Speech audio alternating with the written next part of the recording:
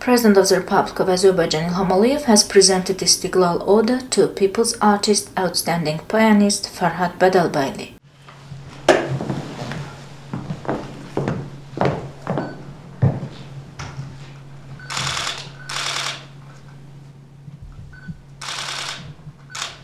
Çok. Tebrik ederim.